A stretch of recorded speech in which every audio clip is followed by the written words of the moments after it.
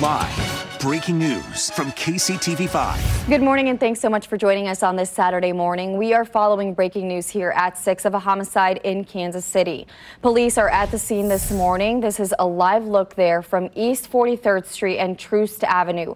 According to police, someone was shot here, but they have not released any victim information as of right now. This is still a developing story, so we will update you when we receive more information throughout our newscast.